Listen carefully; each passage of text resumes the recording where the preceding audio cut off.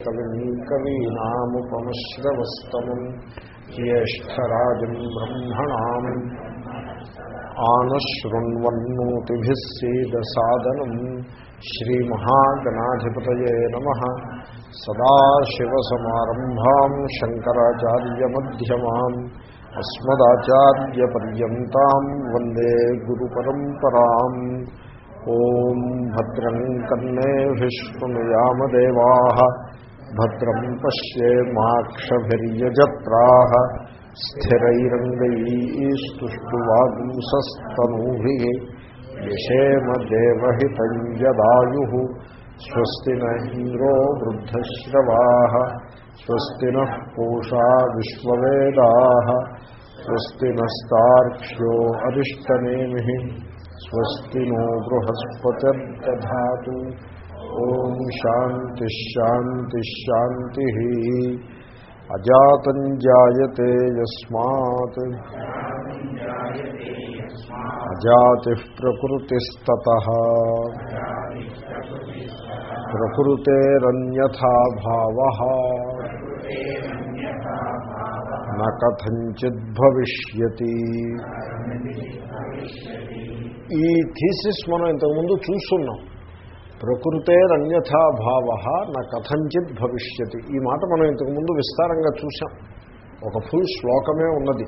అక్కడ భాష్యకారులు కూడా స్వాభావికి సాంసిద్ధికి అని వస్తుంది ఆ శ్లోకం. స్వాభావికి సాంసిద్ధికి అని అలాగ వస్తుంది. దీంట్లోనే ఈ ప్రకరణంలోనే.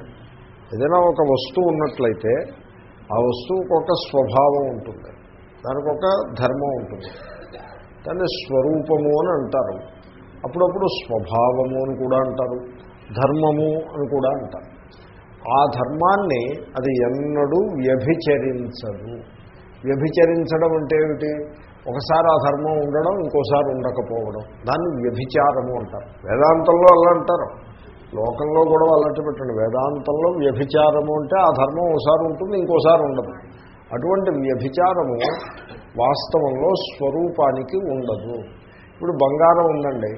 బంగారము ఏ దేశంలోనైనా ఏ కాలంలోనైనా. ఎందుకంటే తేడాలన్నవి దేశాన్ని బట్టి వస్తాయి కాలాన్ని బట్టి వస్తాయి. ఇంకో సందర్భం ఏం లేదు. బంగారము ఏ దేశంలోనైనా ఏ కాలంలోనైనా పచ్చగా మిలమిల మెరిసే లోహము. అంతే.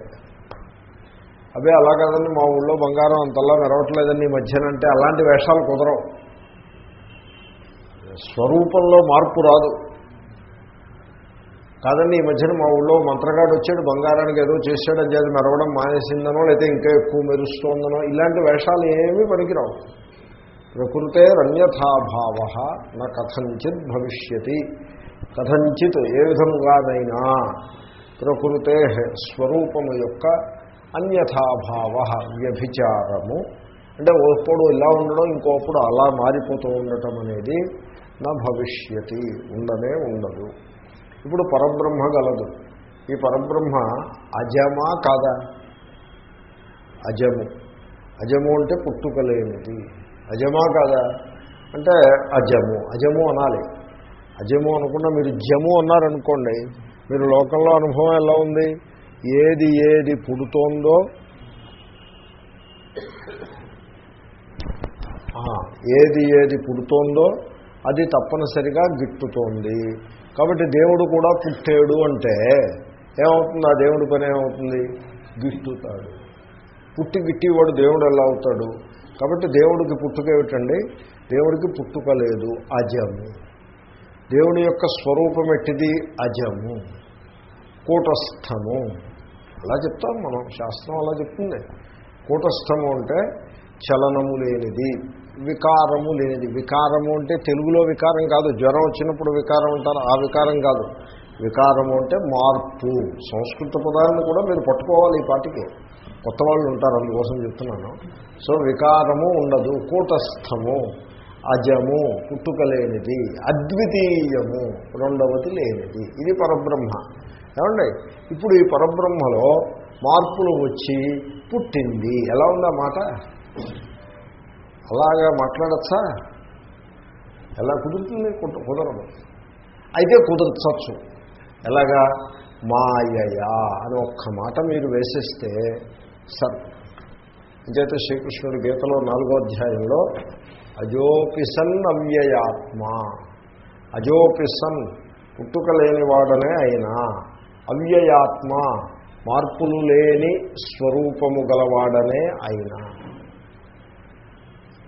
సంభవామి పుట్టుతున్నాను అని పక్కనే ఏమి వేశాడు? ఆత్మమాయ మాయ చేత. అంచేతనే గౌడపాద కారిక కూడా సతోహి మాయయా జన్మ. పుట్టుక అన్నది మాయచేత సంభవమవుతుంది తప్ప స్వరూపత స్వరూపత అంటే యథార్థంగా పుట్టుకన్నది కుదరదు కాబట్టి అజాతం జాయతే. పుట్టుతున్నది అని చెప్పిన సందర్భంలో కూడా పుట్టుకలేని పరబ్రహ్మయే జగద్రూపంగా పుట్టుతున్నది. అంటే మాయయ అలా భాషిస్తోంది అని అభిప్రాయం. సినిమా అండి. ఈ జగత్ అంటే ఇదో సినిమా. జీవితం అంటే ఒక సినిమా. సినిమా మీరు సినిమాకి వెళ్ళి కూర్చుంటారు. రెండు గంటలు పూర్వకాలం సినిమాలు మూడు గంటలు ఉండేవి. ఇప్పుడు అలాగ తెవల్ది ఆ సినిమా స్లోగా ఉండేది. ఇప్పుడు అంత స్పీడ్. అప్పుడు డైలాగ్ కూడా వాళ్ళు స్లోగా చెప్పేవారు. మీరు ఎప్పుడైనా పాత సినిమా చూస్తే తెలుస్తుంది డైలాగ్ కూడా చాలా స్లోగా చెప్పేవారు. నాకు ఆ డైలాగ్ చూసినప్పుడు నేను అనుకుంటాను అబ్బాయి ఎంత కామ్గా వీళ్ళు జీవించారా అనిపిస్తుంది. ఎందుకంటే మనకి ప్రెషర్ ఎక్కువైపోయి స్పీడ్ ఎక్కువైపోయింది మన జీవితంలో. వాళ్ళ జీవితంలో అలాగే ఉండదు చాలా సింపుల్గా. ఆ డైలాగ్ డెలివరీ అన్నీ కూడా స్లో అండ్ స్టడీ. ఒక మనిషి డైలాగ్ అయిపోయిన తర్వాత ఒక కొద్దిసేపు ఆగి రిప్లై డైలాగ్ ఉంటుంది తర్వాత పాట కూడా అలాగే ఉంటూనే ఉంటుంది తెవలది సో ఆ మూడు గంటల సినిమా. మూడు గంటల్లో ఎన్నెన్నో అవుతాయి. పెళ్ళిళ్ళు అవుతాయి పేరెంటాలు అవుతాయి పిల్లలు పుడతారు వాళ్ళు పెరిగి పెద్దవాళ్ళు అవుతారు ప్రేమలు ఉంటాయి అందరూ కలిసి ఉంటారు దెబ్బలాడుకుంటారు విడిపోతారు మళ్ళీ కలుస్తారు శృంగార రసం హాస్యరసం కరుణ రసం బీభత్స రసం ఎన్ని రసాలు ఉన్నాయో అన్ని రసాలు ఉంటాయి. ఈ లోపల ఫైనల్గా మూడు గంటలు పూర్తవుతుంది. పూర్తయ్యాక ఒక గ్రూప్ ఫోటో ఒకటి పెట్టి అది కూడా అందరూ అయిపోయిన తర్వాత శుభం అని ఉంటుంది ఏమంటే ఆ శుభం అన్న తర్వాత అది బ్లాంక్ అయిపోతుంది తెర. అప్పుడు ఆ తెర మీద ఏదైనా ఉందా? ఏమీ లేదు. పోనీ ఇప్పుడు ఏమీ లేదండి. ఇంతవరకు ఎవేవో ఇక్కడ ఉండేటివి అని అనుకోవడానికి అవకాశం ఉందా? అక్కడ ఏదైనా జరిగిందా? ఏదైనా ఘటిల్లిందా? ఏమీ లేదు. మనిషి జీవితం సరిగ్గా అంతే. నో డిఫరెన్స్ వాట్స్ కాబట్టి అక్కడ ఆ ప్రకాశము అన్ని రూపాలుగా పుట్టిందా? పుట్టిందా? పుట్టలేదు ఏది పుట్టలేదు. పుట్టింది లేదు గిట్టింది లేదు. అంతా కూడా దిఖావట్ అంటే అలాగే కనబడుతూ ఉంటుంది. అంతా మ్యాజిక్ షో మ్యాజిక్ షోలో ఏది పుట్టింది ఏది గిట్టింది? ఏమీ లేదు. అంతా ఊరికే అలా కనపడడం తప్ప ఇంకేం లేదు. దానికే మాయా అని పేరు. కాబట్టి అజాతం మాయయా జాయతే అని మనం చెప్పుకోవాల్సి ఉంటుంది. దాన్ని బట్టి మనకేం నిర్ధారణ అవుతుందంటే అజాత అజాతి ప్రకృతి ఆ పరబ్రహ్మ యొక్క స్వరూప పరబ్రహ్మ అంటే ఆత్మ. మీ స్వరూపమే దాని స్వరూప దాని స్వభావము ఏమిటి? దాని ధర్మమేమి? అజాతి పుట్టకుండుటయే దాని ధర్మం. కాబట్టి ఇప్పుడు చూడండి నేను పుట్టాను అని మీరు కనుక ఒక వాక్యాన్ని మీరు ఎప్పుడైతే అంటారో then you become a limited entity in space in time and you become a process ఒక ఎవర్ చేంజింగ్ ప్రాసెస్ అయిపోతారు మీరు. And you become vulnerable in every possible way మీరు వల్నరబుల్ అయిపోతారు. నేను పుట్టాను అనగానే యూ బికమ్ వల్నరబుల్ ఏమండి? ఈ నేను పుట్టాను అనేది పోనీ వీడు అనుభవాన్ని ఎలాగ తిరస్కరిద్దాము? అనుభవంలో వచ్చిన దాన్ని ఎలా తిరస్కరించాలి అని అందాము అంటే ఎక్కడ మీ అనుభవం ఎక్కడుంది? నేను పుట్టాను అనే అనుభవం ఎవరికి ఉంది ఇంతవరకు ఈ సృష్టిలో నేను పుట్టాను అనే అనుభవం ఎవరికీ లేదు. జనం పీపుల్ దే ఆర్ నట్స్ సైట్ అనేవారు what else can you say people are just nuts generation after generation దీన్ని స్వామి అఖండానందజీ మహారాజు ఏమన్నారంటే మేషా మేషీ మేషీ ప్రపాత అంధ పరంపర అంటే మేషి అంటే ఈ గొర్రెల మందు ఉంటుంది. ఆయన దృష్టాంతం జా- జాగ్రత్తగా ఎక్స్ప్లెయిన్ చేశారు. ఏమైందంటే ఓసారి ఈ రైల్వే ట్రాక్ ఉంది.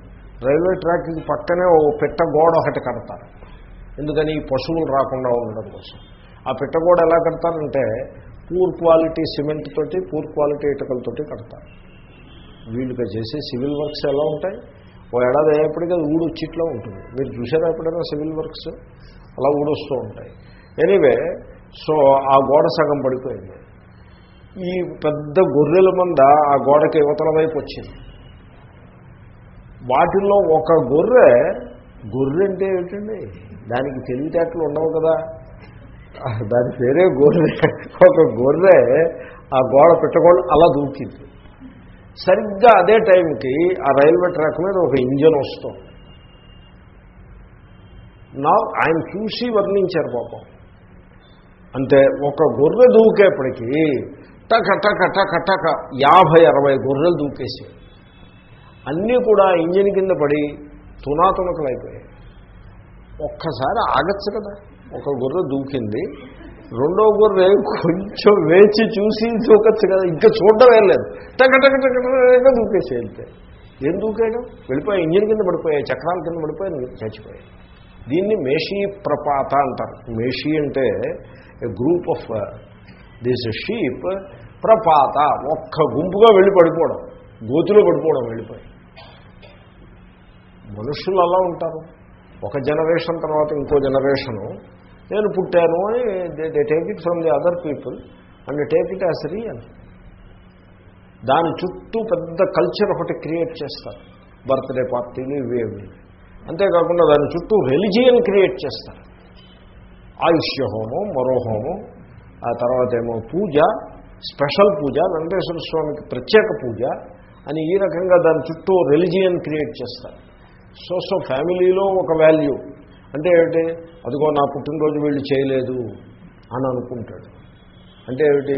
అది ఒక ఇమోషన్ పోలేరా బాబు వీడు దెబ్బలాడతాడు ఎందుకు వచ్చిందని ఇంట్లో వాళ్ళందరూ గుర్తుపెట్టుకుని వీడు పుట్టినరోజు చేస్తూ ఉంటారు. లేకపోతే వీటి వీటితోటి ఏదైనా అనిపోతాడేమో అని చేస్తారు. లేకపోతే పోతే ప్రేమతోటే చేశారనుకోండి అది ఫ్యామిలీ స్ట్రక్చర్ ఫ్యామిలీ కండిషనింగ్. ఆ తర్వాత సోషల్ కండిషనింగ్. ఎప్పుడండి? మీ పుట్టినరోజు ఎప్పుడండి? నా పుట్టినరోజు ఎప్పుడండి? అని. ఈ వ్యాధి సాధు సంతులకు కూడా సోకిందని అందరికీ తెలుస్తూనే ఉంది కదా? ఇది కంటేజియస్ ఇది. దీనికి ఎవరిలో ఎక్సెప్షన్ లేదేమో అని అనిపిస్తుంది. ఇంకేంటంటే సమాజం ఒక అజ్ఞాన దిశలో నడుస్తూ ఉంటుంది. ముందు వెనక ఆలోచించరు. సో అంచేతనే ముందు వెనక ఆలోచిస్తే మెషీ ప్రపాతం ఎందుకు అవుతుంది? కాబట్టి అజాతి ప్రకృతి మీ స్వరూపము అజాతియే. అజాతి ప్రకృతి అన్నప్పుడు మళ్ళీ ఒకసారి అజాతి ఇంకోసారి జాతి అలాంటివేమీ కుదరవు. ఎందుకని? ప్రకృతే రన్యథాభావ నా కథంచిత్ భవిష్యతి. ఎక్కడో ఉన్నాం మనం. అజాతం యచ్చిత్తం బ్రహ్మైవ జాయత ఇది. అజాతం యచ్చిత్తం బ్రహ్మైవ జాయతే ఇది వాదిభి పరికల్ప్యతే. ఇప్పుడు చిత్తము ఉన్నది. చిత్తము అంటే స్పందనకే చిత్తము అని పేరు. స్పందన అంటే దేని ఎందు స్పందన? స్పందన అంటే ఇప్పుడు ఆకాశంలో స్పందన ఉండదు. వా ఏదైనా ఒక అధిష్టానం ఉంటే దానికి స్పందన. సో గాలిలో స్పందన వచ్చింది అని అలాగ మీరు పై పైన ఉండే బాహ్యంలో స్పందనకి చెప్తారు. ఇది ఆంతరమునందు స్పందన. ఆ స్పందనకే చిత్తము అని పేరు. ఆంతరమునందుండే స్పందన. దానికి చిత్తము అని పేరు. కదలిక. దేని ఎందు కదలిక? ఆ చైతన్యమునందు కదలిక. ఆ చైతన్యం అంటే బ్రహ్మయే. బ్రహ్మయే చైతన్యం. ఇంట్లో ఈ విషయం నేను ఇంతకుముందు మీకు మనవి చేశాను. మళ్ళీ గుర్తు చేస్తా. శంకరుని కాలం నాటికి ఉపనిషత్ సిద్ధాంతంలో ద్వైతం లేదు. శంకరుడు ఆయన ఉపనిషత్తులను స్వీకరించి భాష్యం రాసి నాటికి జీవుడే దేవుడు అని చెప్పి వాళ్ళు ఔపనిషదులు. జీవుడు వేరు దేవుడు వేరు అని చెప్పి వాళ్ళు ఉపాసకులు కర్మకాండవాదులు ఉండేవారు. ఉపనిషత్తుని స్వీకరించి జీవుడు వేరు దేవుడు వేరు అని చెప్పిన వాడు ఆయన కాలంలో లేడు. ఇట్ ఈజ్ యూనివర్సల్లీ యాక్సెప్టెడ్ ఏమని? ఉపనిషదులు అంటే యూనివర్సల్లీ యాక్సెప్టెడ్ ఏమని? జీవుడి రూపంగా దేవుడే ఉన్నాడు. అలాగే ఎవరు చెప్తారు? ఔపనిషదులు అలాగే చెప్తారు. అదొక అదొక గ్రూప్ అది ఒక ట్రైబ్ అది ఔపనిషదులు కొంతమంది ఉండేవారు. అది అంగీకారం కాని వాళ్ళు. వాళ్ళ ఉపనిషదులు కాదు. వాళ్ళు ఉపాసకులు అలా ఉండేవారు. కానీ ఆ తరువాతి కాలంలో వచ్చినటువంటి పెద్ద కరప్షన్ ఏమైందంటే ఈ ఉపనిషత్తులలో కూడా చొచ్చుకుపోయి ఉపనిషత్తులు కూడా మావే మా సిద్ధాంతాన్నే చెప్తున్నాయి అని ఒక పెద్ద దండయాత్ర కింద చేసేసి ఉపనిషత్తులను కూడా కల్లోలపరచి వాటి విషయంలో కూడా సమాజంలో సందేహం కలిగే విధంగా వచ్చింది. దానికే కలికాలం అని పేరు. అదే కలి అంటే వేరే కలి ఏం దానికే కలి అని నామధేయం. ఇలా కూర్చోండి. ఇక్కడ కూర్చో కూర్చోండి హాయిగా అక్కడ కూర్చుంటే అటు కూడా సౌకర్యంగా ఉంటుంది. కాబట్టి ఇక్కడ మీరు రచన ఇదం ఈ కథంతా ఎందుకు చెప్పానంటే ఆ వాక్యం చూస్తే మీకు తెలిసిపోతుంది. అక్కడ బ్రహ్మ అంటున్నారు. బ్రహ్మయే చిత్తముగా పుట్టింది అంటున్నారు. బ్రహ్మ అంటే ఆత్మ అని అర్థం. It is universally accepted that Brahma is atma. So ఆ బ్రహ్మ విచ్ ఈజ్ ది ఆత్మ దాన్ని బ్రహ్మాత్మ అని అనొచ్చు మనం. అది ఏ చిత్తముగా పుట్టింది. బ్రహ్మ చిత్తముగా పుట్టింది అంటే ఆ బ్రహ్మ అనే ఆత్మ చైతన్యమునందు వచ్చిన స్పందనే చిత్తముగా భాషించింది అని అర్థం. ఇక్కడ ఇది ఎలాగంటే సినిమా తెర మీద పడ్డ కాంతి కాంతియే నాయకుడుగా పుట్టింది. ఆ కాంతియే నాయికగా పుట్టింది. ఆ కాంతియే ప్రతినాయకుడుగా పుట్టింది అని మనం చెప్పచ్చు.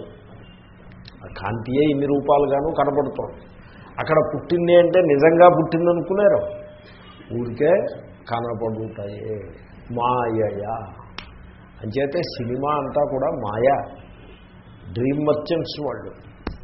వాళ్ళు స్వప్నాలని మనకి మార్కెట్లో అమ్ము- విక్రయిస్తారు. స్వప్నాలని విక్రయిస్తారు.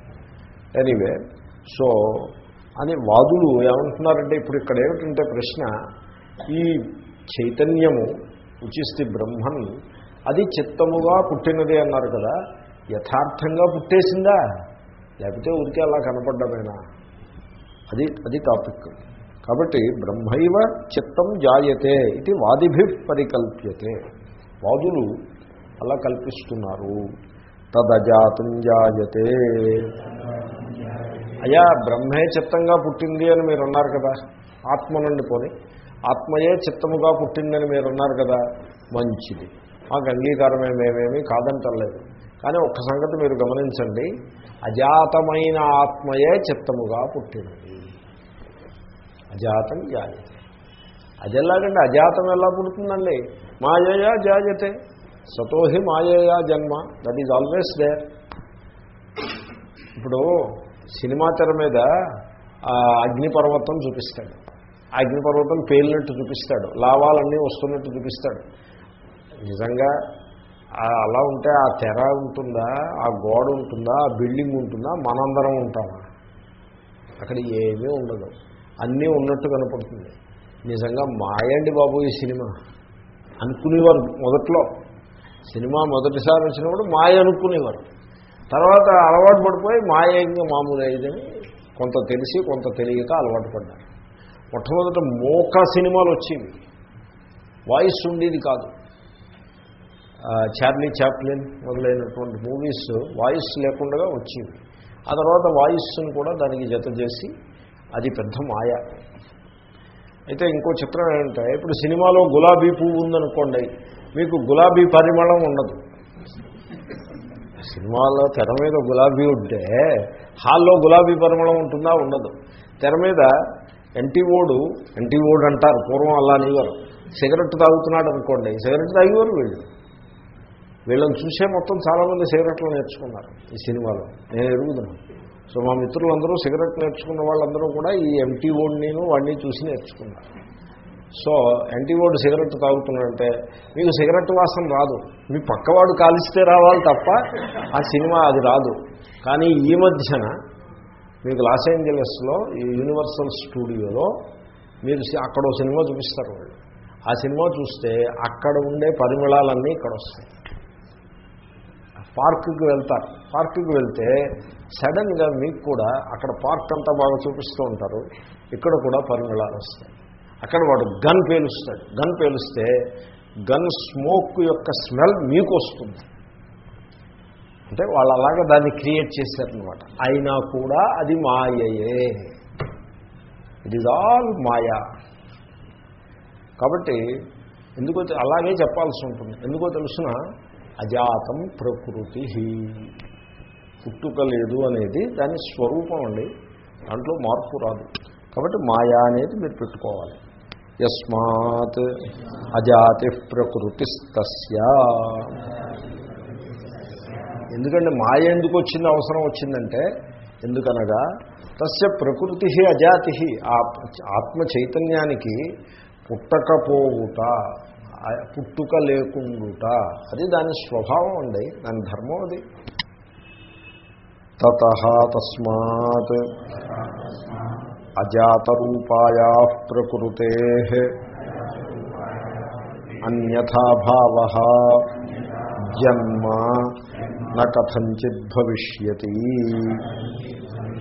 దాని స్వభావం స్వరూపము లేక ధర్మము అజాతము. పుట్టకుండుట. అది దాని స్వరూపమై ఉండగా అది పుట్టుట జన్మ. జన్మ అంటే ఏమైంది? అన్యథాభావ. అంటే దాని స్వరూపాన్ని అది విడిచిపెట్టేసి స్వరూపం కాని దానిని స్వీకరించుట.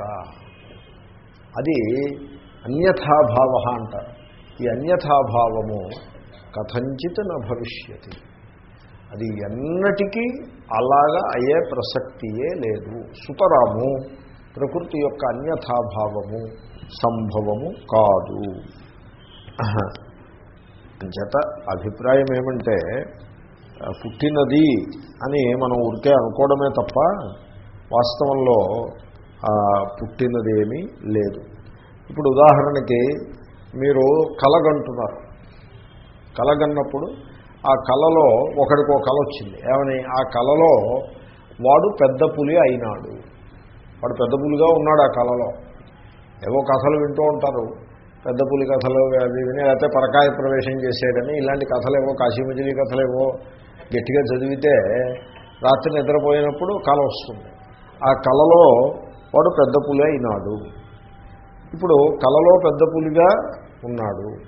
పెద్ద పులిగా ఏవేవో చేశాడు. ఈ లోపల కళ పూర్తయిపోయింది బయటకు వచ్చాడు. ఇప్పుడు వీని యొక్క స్వ ప్రకృతి ఏమిటి? మనుష్యత్వం. మనుష్యత్వం ప్రకృతి. కళలో మనుష్యత్వం పోయి పులి రూపం వచ్చింది. ఇప్పుడు వాడి మనుష్యత్వం యథార్థంగా పోయిందా? పోలేదు. పులిని నేను అని కలగన్నాడు కాబట్టి మనుష్యుడు కాకుండా పోయాడా? లేదు. అదేవిధంగా మీ స్వరూపము శుద్ధ చైతన్యం. Pure light of awareness. అది మీ స్వరూపము. ఆ స్వరూప అది ఎలాగంటే ప్రాజెక్టర్లో ఉన్న లైట్ కాంతి ప్రకాశము తెర మీద ఏవేవో రూపాలు పొందినట్టుగా ఈ శుద్ధ చైతన్యం కూడా నేను పుట్టాను అని నేను ఇదని నేను అదని అన్ని రకాలుగా అది ప్రకా అలా అనిపిస్తుంది. అలా కనపడుతుంది అంత మాత్రం చేత అది యథార్థము కాదు. ఇప్పుడు తెర మీద నాయకుడు ధర్మ మంచి పని చేసేవాడు ఉంటాడు. కాబట్టి ఇప్పుడు దీప కాంతి ప్రకాశము మంచిది అని చెప్పగలరా? చెప్పలేదు. తెర మీద చెడ్డవాడు ఉంటాడు. కాబట్టి ప్రకాశము చెడ్డది అని చెప్పగలరా? చెప్పలేదు. కాబట్టి ప్రకాశము తెర మీద కనపడే ఆపోజిట్స్ ద్వంద్వాలు ఏవైతే ఉంటాయో వాటికి అన్- సర్వా వాటికి అతీతంగా ఉంటుంది తప్ప అక్కడ మంచి జరిగినప్పుడు ఇది మంచి అయిపోయి అక్కడ చెడ్డ జరిగినప్పుడు ఇది చెడ్డ అయిపోయి అలాగేమీ ఉండదు. అదేవిధంగా ఆత్మ చైతన్యము కూడా ఒక పరిచ్ఛన్న వ్యక్తిగా భాషించినప్పటికీ అది పరిచ్ఛన్న వ్యక్తి కాదు. పుట్టాను పుట్టానని మీరు అనుకున్నా మీరు పుట్టలేదు. నేను గిట్టుతాను అని మీరు భయపడ్డా మీకు గిట్టుట లేదు. ఎందుకంటే ఆత్మ చైతన్యము మీ భ్రమలకు దానికి సంబంధం లేదు.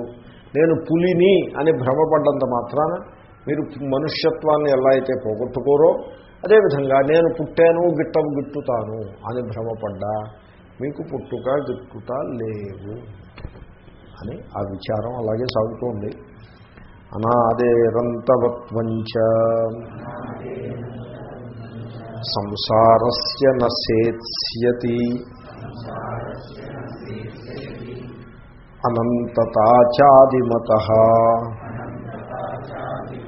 మోక్షస్య న భవిష్యతి. ఇది ఇంకో టాపిక్ ఇది. ఇప్పుడు మీరు చూడండి వేదాంత క్లాస్కి వచ్చారు. ఎందుకు వచ్చారండి?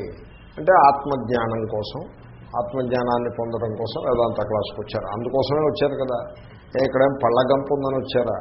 ఏదో ఆత్మజ్ఞానం వేదాంత క్లాసులు వచ్చారు. అయితే ఆత్మజ్ఞానం పొందుదాం పొందడం కోసం వచ్చారు. ఆత్మజ్ఞానం పొందితే ఏమిటవుతుంది?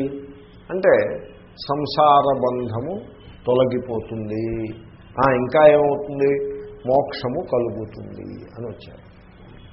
ఏమండి? ఇప్పుడు ఈ బంధము మోక్షము. మోక్షము అనే మాట ఎప్పుడు ఉంటుందో బంధము అనే మాట పక్కనే ఉంటుంది. ఈ మోక్షము బంధము ఇవి యథార్థములా అని ప్రశ్న. బంధము యథార్థమైతే మనం అలా అనుకుంటాం. మనం సంసార బంధంలో ఉన్నాము అది యథార్థము అది ఆత్మజ్ఞానం వల్ల తొలగిపోతుంది అని అనుకుంటాం. మీకు దీంట్లో రహస్యం ఉంది. అదేమిటంటే బంధము యథార్థమైతే జ్ఞానము వలన పోదు. తొలగదు. కర్మ వల్ల తొలగును. జ్ఞానం వల్ల తొలగదు. బంధం కల్పితమైతే కర్మ వల్ల ఎన్నటికీ పోదు. జ్ఞానము వలన మాత్రమే పోతుంది. అర్థమైందండి? దీనికి మామూలుగా స్టాండర్డ్ స్టోరీ ఒకటి ఉన్నది. స్టాండర్డ్ స్టోరీ మీకు అందరికీ తెలుసు. సో ఊళ్ళో చాకలివాడు ఉంటాడు. వాడు పొద్దున్నే బట్టల మూట గాడిద మీద పెట్టుకుని ఊరు బయట చెరువుకు తీసుకెళ్తాడు. తీసుకెళ్ళి ఆ చెరువులో బట్టలను ఉతుక్కుని ఉతుక్కుని వాటిని ఆరేస్తాడు అక్కడే. అక్కడ తాడు ఉంటుంది అక్కడే ఆరేసుకుని మళ్ళీ సాయంకాలం ఈ బట్టలన్నింటినీ మడత పట్టి మడత పెట్టి మూట గట్టి ఆ గాడిద మీద పెట్టుకుని మళ్ళీ వాపసు తెచ్చుకుంటాడు. కాబట్టి వాడి ట్రేడ్ వాడి వ్యాపారం ఏదైతే గలదో దానికి గాడిద చాలా ప్రధానమైనటువంటి సాధనము. ఏమండి? ఇప్పుడు పాలు అమ్మకునే వాడికి ఆ పాల సైకిలు పాల డబ్బా ఆ రెండు లేకపోతే వాడి వ్యాపారమే లేకుండా అయిపోతుంది. ఆ పాల సైకిలు పాల డబ్బా ఉండాలి. అదేవిధంగా చాకలివానికి గాడిద. ఎప్పుడు లెక్కది. చాకలివాడు గాడిద. సో ఓ రోజు ఏమైందంటే ఈ గాడిదని కట్టడానికి ఒక తాడు పట్టుకెళ్తాడు. కొంచెం పొడుగాటి తాడు పట్టుకుని వెళ్తాడు. ఆ దాడి గాడిదని అక్కడ ఓ చెట్టుకు కట్టేస్తాడు పొడుగాటి తాడుతో కట్టడం ఎందుకు ఉంటే అది కొంచెం గడ్డి అది వేస్తుంది చుట్టూ అందుకోసం. ఆ రోజు తాడు మర్చిపోయాడు. ఊరు బయటకు వెళ్ళిపోయాడు. తాడు మర్చిపోయాడు. ఇప్పుడు మళ్ళీ తాడు కోసం వెనక్కి వెళ్ళడం ఎలా కుదురుతుంది? మూట పట్టుకుని?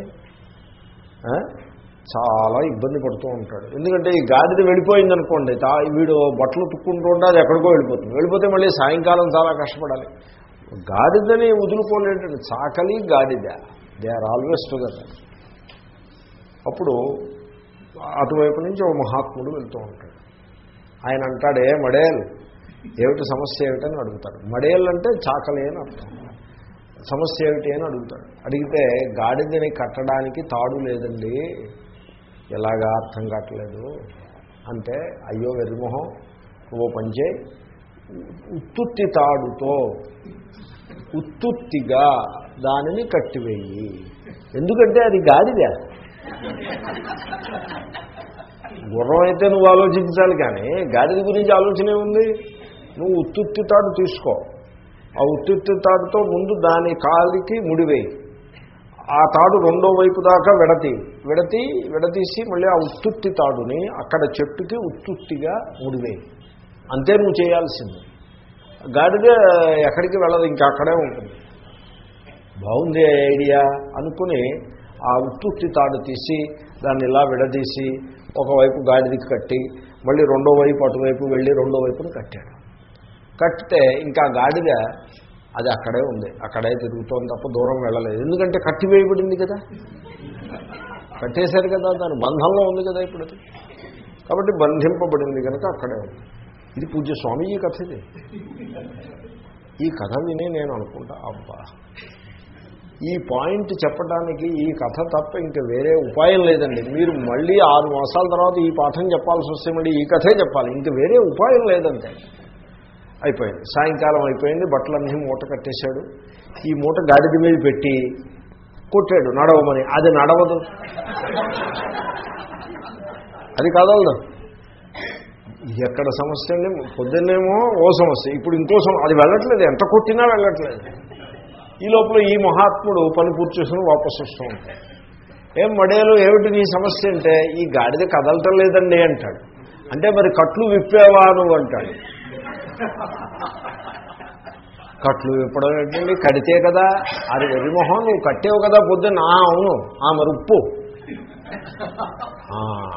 అర్థమైంది అతను పాపం వెర్రిగాడిది అలా నిలబడి ఉంది దెబ్బలు తింటూ. అప్పుడు వెళ్ళి ఆ చెట్టు దగ్గరికి వెళ్ళి ఆ తాడు ఉప్పి ఆ తాడు జాగ్రత్తగా ఇలా మడత పెట్టుకుని మళ్ళీ దీని కాలు దగ్గరికి వచ్చి అది ఉప్పి అలా ఉప్పగానే చక్కగా బయలుదేరి వెళ్ళిపోయింది. అది ఆ గాడిదకి బంధము ఆ గాడిదకి మోక్షం. ఇప్పుడు ఆ గాడిదకి బంధం ఎలా వచ్చింది? నేను బంధింపబడ్డాను అనుకోవడం చేత వచ్చింది. మోక్షం ఎలా వచ్చింది? నా బంధము పోయింది అనుకోవడం చేత వచ్చింది. అక్కడ బంధము యథార్థమైనది కాదు మోక్షము కూడా యథార్థమైనది కాదు. సంసారుల యొక్క బంధమోక్షాలు కూడా అట్టివే. అయితే మరి సంసారంలోని గాడితో పోలుస్తున్నారా అంటే అక్కడ పోలిక గాడితో పోల్చడం అని కాదు అజ్ఞానం కోసం చెప్పిన దృష్టాంతము. అజ్ఞానం అజ్ఞానాంశంలో ఓ రకంగా గాడిదే మరి ఇంకేమన్నమాట? అజ్ఞానము అంటే నా స్వరూపములో బంధము లేదు కానీ నేను బంధంలో ఉన్నాను అని వీడు అనుకుంటాడు నా స్వరూ నాకు నేను నిత్యముక్తుడను శంకరుల మాట నిత్యముక్త. అంటే సర్వకాలముల ఎందు నేను ముక్తుడనే కానీ నేను బంధంలో ఉన్నానని భ్రమపడ్డం చేత నాకు మోక్షం కూడా వచ్చింది అని ఇంకోసారి భ్రమపడాలి. అంచేతనే జ్ఞానాన్మోక్ష నాకు బంధము లేదు అని తెలుసుకునుటయే మోక్షము. అంచేతనే మోక్షము నాకు మోక్షం వచ్చింది అన్నట్టుగా ఉండదు. అది పాజిటివ్ మోక్షం ఏం లేదు ఇక్కడ నాకు బంధము లేదు అని వీడు తెలుసుకుంటాడు. కాబట్టి ఈ సంసారము మనం ఏమంటున్నాము? ఇది అనాది అని అంటున్నాం. అనాది అన్నాం కదా. జన్మ మరణ ప్రవాహము అనాది అనాది అనాది అని అదంతా నిరూపించి అదంతా ఖండించుకునే ఇక్కడికి వచ్చాము. అనాది. కానీ జ్ఞానము చేత అంతమవుతుంది అని అంటున్నాం. అనాది అయితే అంతమయ్యే ప్రసక్తి లేదు. మోక్షము లేదు. ఇప్పుడు వచ్చింది అని అంటున్నాం. లేనిది వచ్చే ప్రసక్తి కూడా లేదు. కాబట్టి సంసారము అనాది అయి అంతమగుట మోక్షము ఇంతకుముందు లేకుండా ఇప్పుడు కొత్తగా వచ్చుట ఈ రెండూ కూడా సిద్ధించవు. కాబట్టి ఏమిటి సిద్ధిస్తుంది? సం- బంధము కల్పితమే మోక్షము కల్పితమే. దీని మీద ద్వైతుల పూర్వపక్షాలు ఉన్నాయి మరి శాస్త్రం యొక్క ప్రయోజనమేమి? శాస్త్రం యొక్క ప్రయోజనము కల్పిత బంధమును నివృత్తి చేయుటయే. అంతే ప్రయోజనం శాస్త్రానికి. అంతేగాని యథార్థమైన బంధమును నివృత్తి చేయుట శాస్త్రం యొక్క ప్రయోజనము కాదు. అంచేతనే జ్ఞానం అన్నారు. జ్ఞానము ఎందుకంటే కల్పిత బంధాన్ని నివృత్తి చేస్తుంది జ్ఞానం. అంటే ఇప్పుడు మీరు ఆలోచించండి మనం ఏమనుకుంటామంటే బంధాన్ని మనం భావన చేస్తాం. నేను బంధింపబడ్డాను. ఎలాగ భావన చేస్తాము? కేవలము మనస్సు యొక్క స్పందన తప్ప ఇంకొకటి లేదు. నేను దుఃఖిని. నా ఎందు బంధము ఎలా ఉంటుంది? తాళ్ళు వేసి కట్టిట్లా ఏమి ఉండదు కదా? మనస్సులో దుఃఖానుభవం కలుగుతూ ఉంటుంది. నేను దుఃఖిని. ఈ దుఃఖిత్వం ఎక్కడి నుంచి వచ్చిందో తెలిసిన? ఉంటే అనుకోవడం చేతనే వచ్చింది. దాంట్లో ఉన్న సీక్రెట్ ఏమంటే మీరు ఎప్పుడు అనుకుంటారో అప్పుడే ఉంటుంది ఆ దుఃఖం మీరు అనుకోవడం మానేస్తే పోతుంది. వాస్తవంలో దుఃఖము బంధము మన యథార్థ స్వరూపమైన పక్షంలో మనం నిద్రపోవడానికి కూడా వీల్లేదు. ఎందుకంటే నిద్రపోయినప్పుడు బంధం లేదు దుఃఖం లేదు ఏ ఏ సంబంధ సంబంధ బంధం అంటే సంబంధమే. సంబంధ ఏవ బంధ? సంబంధమే. వీడు నా కొడుకు ఈమె నా భార్య వీడు నా భర్త వీడు సోదరుడు ఇది సోదరి వీడు మిత్రుడు వీడు శత్రువు ఈ సంబంధానికే బంధము అంటే ఈ సంబంధం ఎక్కడి నుంచి వచ్చింది? వాస్తవంగా ఏమీ రాదు అనుకోవడమే. ఇప్పుడు పెళ్ళిలో అలా ముడులు వేస్తారు. గ్రంథి అంటారు వాటిని ముడులు వేస్తారు. ఎందుకంటే ఆ ముడులు వేయడం వీడి మనస్సులో ఆ గ్రంథి నిర్మాణం అవడం కోసం. వీడి మనస్సులో గ్రంథి నిర్మాణం అయితే చెప్పిన కథ చెప్పారు చూడండి. వైశాఖి కథలో చెప్పినట్టే. పర్ఫెక్ట్ పూజ స్వామీజీ స్టోరీకి దానికి ఢోకా లేదా స్టోరీ పర్ఫెక్ట్ అంతే అసలు మొత్తం అంతా గ్రంథులే. వీడి బతుకంతా గ్రంథులే. అఖండానంద మహారాజ్ చెప్తారు పవిత్ర గ్రంథం ఒకటి ఉంటుంది. ఎక్కడో గ్రంథి పెడతాడు. పవిత్ర గ్రంథిం విశ్రస్య పవిత్ర గ్రంథిని విడదీసి ఏం చేస్తారు? నిప్పుల్లో వేస్తారు. అంటే దాన్ని బట్టి మీకు ఏం అర్థమైంది పవిత్ర గ్రంథి తీసుకెళ్ళి పవిత్ర గ్రంథిని విడదీసి నీళ్ళ ఓ రెండు నీళ్ళ చుక్కలు చల్లి అగ్నౌ ప్రాస్యతి. అలా ఉంటుంది. అగ్నౌ ప్రాస్యతి. అగ్ని ఎందు వేసేస్తారు. సో అదో గ్రంథి. అంటే కర్మ కర్మబద్ధంలో నేను కర్తను. నేను కర్తను. మరి కర్త అయితే మరి కర్మ చేయాలి. కర్మ చేయాలంటే పవిత్రంగా ఉండాలి. పవిత్రంగా ఉండాలంటే గ్రంథి పడితే కానీ పవిత్రత రాదు. పవిత్ర గ్రంథి విశ్రస్య తర్వాత శిఖ ఎక్కడో గ్రంథి ఉంటుంది పిలక ఉంటుంది. ఈ పిలక ముడివేసి ఉండాలి. ముడివేయకుండా ఉండకూడదు. స్నానం చేసేప్పుడు మటుకు ముడి తీసి స్నానం చేసేసి మళ్ళీ స్నానం అయిన వెంటనే ముడి వేసుకుని విభూతి అది రూలు ఇదో గ్రంథి. యజ్ఞోపవీతం. బ్రహ్మ యజ్ఞోపవీతం మూడు ముళ్ళు రెండు ముళ్ళు అని అలా ఉంటుంది కదా. అదో గ్రంథి. బ్రహ్మచారి అయితే ఒక ముడి. వివాహం అయితే మూడు ముళ్ళు. అది మరీ పలసగా ఉందంటే ఇంకో ముడి అదనంగా వేసుకోవడం నాలుగు వేసుకోవడం. కొంతమంది ఐదు వేసుకుంటారు. ఇవేవో లెక్కలు చెప్తారు. నాకు ఐదు ఎందుకు మూడు ఎందుకండి? రెండు ఎందుకండి? అంటే నేను ఒకటి నా భార్య ఒకటి ధర్మపత్ని సమేతస్య. ఇదో ముడి అదో ముడి. మరి మూడోది ఎందుకండి? అస్తమానం ఉత్తరీయం ఉండాలి భుజం మీద.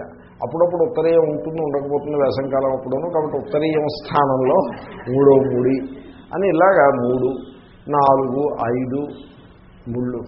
అన్నీ ముడులే. పంచ కట్టుకోవడం. పంచ అంటే ఏమిటి? ఐదు ముడులు ఉంటాయి. ఒకటి రెండు మూడు నాలుగు ఐదు. అంచేతనే దానికి పంచ. ఈ రకంగా వీడు గ్రంథులలో ఉంటాడు వీడు. గ్రంథులు అన్ని ముడులే. ఈ ముడులు ఇవి ఎంత బలంగా ఉంటే పడిపోతాయంటే మనస్సులో వాడు he cannot wriggle out of it ప్రతి బంధ ప్రతి ముడి కూడా వీడు భావన చేత వేసుకున్న ముడే. భావన. భావన తప్ప ఇంక ఏమీ లేదు.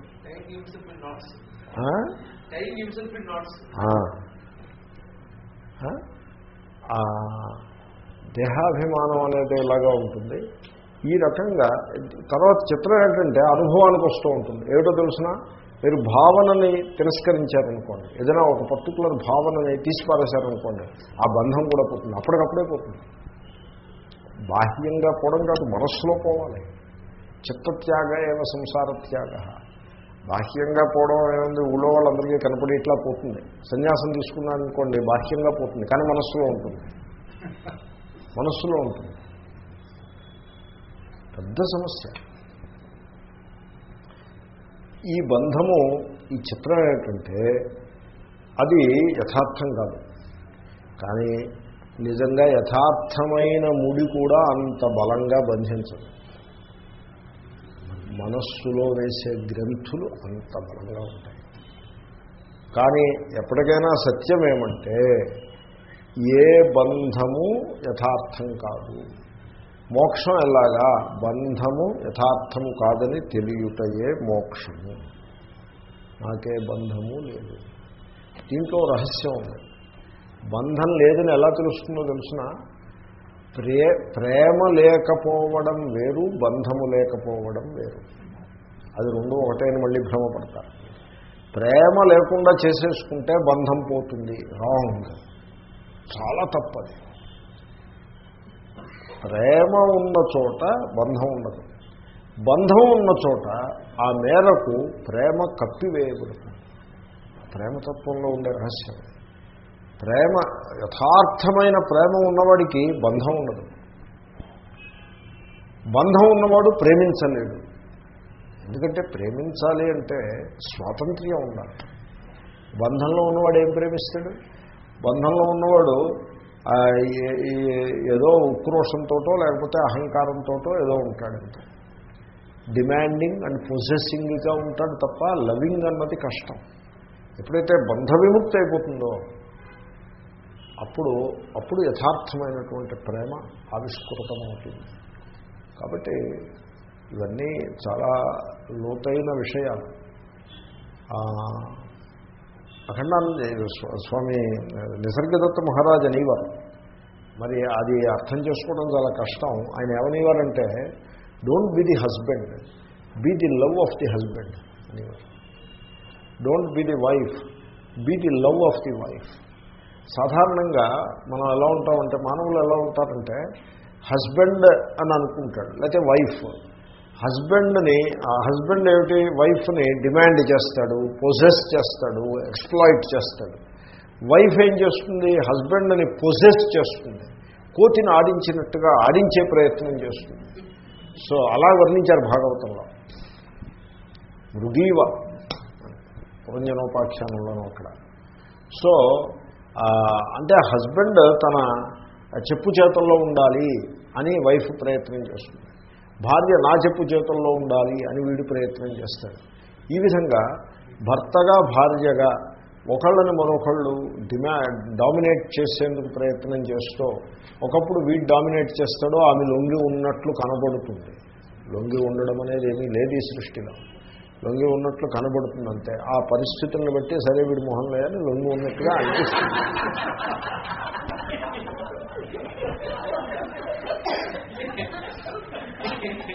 దుర్జ దీనికి సంస్కృతంలో న్యాయం ఒకటి ఉంది. దుర్జనస్తుష్యతు ఇది న్యాయేన? అంతే. ఆమెకి లొంగున్నట్టుగా వీడు నటిస్తాడు. నటించడం అంటే ఏదో ఇంకా సహవాసంలో అలాగే ఉంటుంది. సహవాసము అంటారు అంటే కో ఎగ్జిస్టెన్స్ మ్యూచువల్ కోఎగ్జిస్టెన్స్. దీనివల్ల ఏమవుతుందంటే ఇద్దరికీ బంధమే.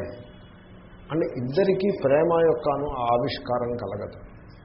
ప్రేమ ఆవిష్కృతం కాదు. బంధమే ఉంటుంది.